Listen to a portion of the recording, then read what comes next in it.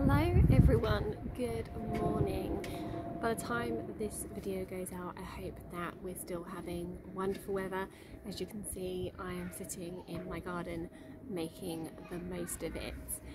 I am here today to talk to you all about why diets stop working. This is a really, really common experience for the women that we work with. We find that so many women tell us that you know the diets that they used to do in their 20s in their 30s you know they used to work for them. They used to be able to just drop weight when they needed to.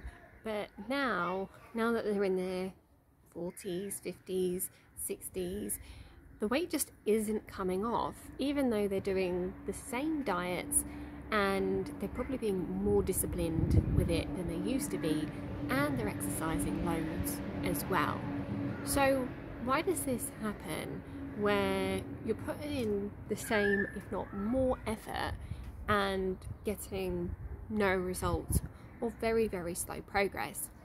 And the other thing that you know a lot of women experience as well is that you know when they go through this process at a later point, the cravings and the hunger can just be unbearable just so difficult to struggle through and it makes it so difficult to actually be disciplined as well.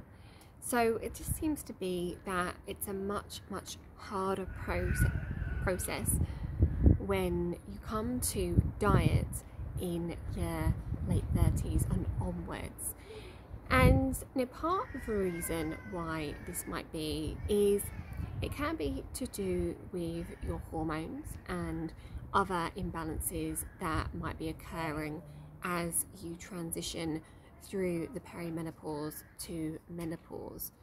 So, you know, really as you get to the end of your 30s, your hormones are starting to change quite significantly as you move into perimenopause, which is a very, there's a lot of blurred lines of perimenopause. There's no definitive way of knowing if you are menopausal or perimenopausal.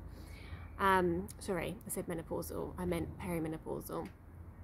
So there's it's very difficult to know whether you're in that stage, but generally after the age of 35 your hormones are starting to change. So you can generally assume that your hormones are starting to to shift as you move into your 40s.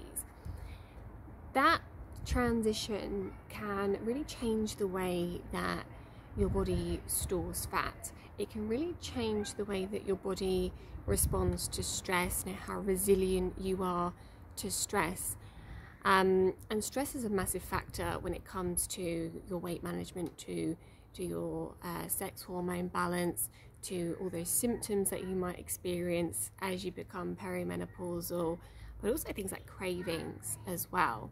So that poor resilience to stress that tends to come as you become perimenopausal, that can really contribute to this struggle, not just the stubborn weight, but also the symptoms and the cravings as well. And then add to that, for many of you watching, you've probably had years of yo-yoing. And you know, for some people this can be quite extreme. It can be you know, really quite significant weight loss, several stone. For others, it might just be a few pounds that we're talking about.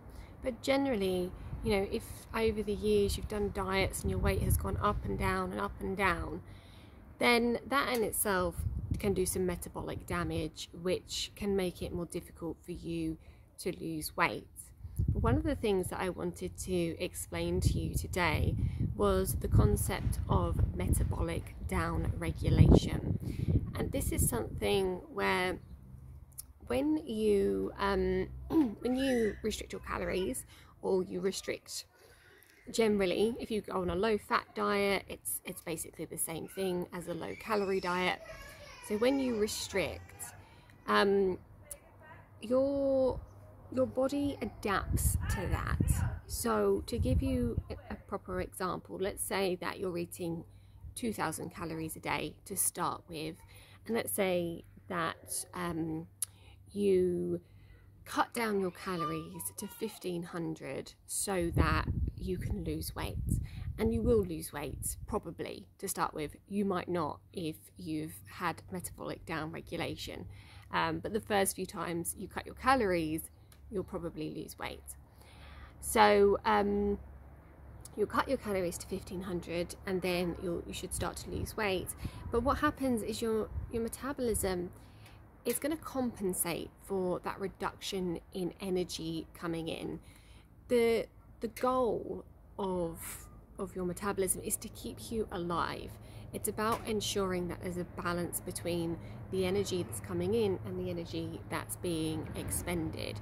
So every time you cut your calories consistently, your body is going to respond to that by down regulating your metabolism so that there's not an imbalance between the amount of energy being burned um, and the amount of energy coming in. And you can swap the word energy for calories. So that means that when you've cut your calories to 1500, eventually your body cuts its expenditure to 1500 calories, and that means that you stop losing weight. And then, what most people do in that situation is they reduce down even further, or they start exercising more to increase that calorie deficit. So, the same thing happens again. Your metabolism will just keep down regulating to meet the, the demand or meet the um, amount of calories that are coming in. And usually at that point, you get a bit frustrated because your weight is plateaued again. You're pretty fed up because you've been missing out on all the nice things that you like to eat. And so a lot of people at the point will give up and go back to eating the 2000 calories or just more than they had been eating. And the annoying bit is that your metabolism doesn't just come back up. You know, you've trained your body to eat less now.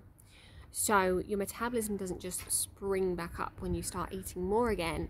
So, whereas before you may have been eating 2000 calories and maintaining, now you're eating 2000 calories and gaining, right?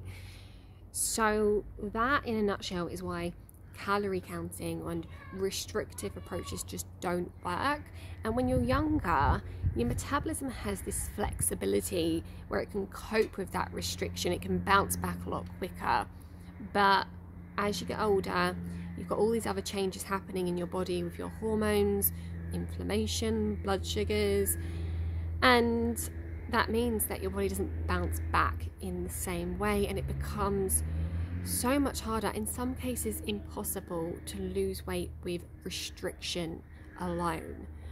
And that's why it's so important to take steps to actually build up your metabolism now that's what we do in the Nourish method. We work on actually building up the uh, the things that influence your metabolism, so supporting the hormones and you know the thyroid and supporting the gut bacteria and correcting deficiencies, thinking about intolerances, all these things that impact your metabolism and the way your body burns and stores fats. So it's a very different approach because it's all about nourishing your body and addressing the imbalances so that we build up the metabolism rather than taking dieting approach where you restrict and you essentially starve and that depletes your metabolism so that's what we want to be thinking about is what is your body missing? What does your body need to function at its very best? So hopefully this has been helpful to see that there is another way.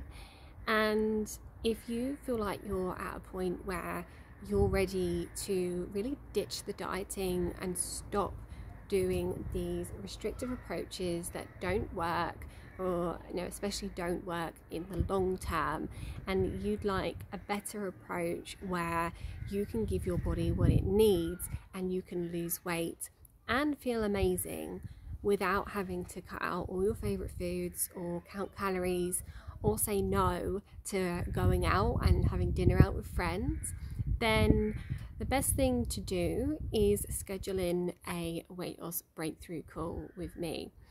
This is a call where we'll be talking about you, what is going on in your body, what you need to to you know, boost your metabolism and start seeing results. It's a free call and it's all about me being of service to you and helping you to identify what's going on in your body, what you need, and how to get you to your goals. So, if that sounds good, use the link in the description to schedule your call, and I'll look forward to talking with you. And if this video has been helpful, then make sure you give me a like. Liking this video helps others to see it um, and helps Facebook or YouTube, wherever you're watching, to show it to more people. Have a good day, and I'll be back soon. Bye.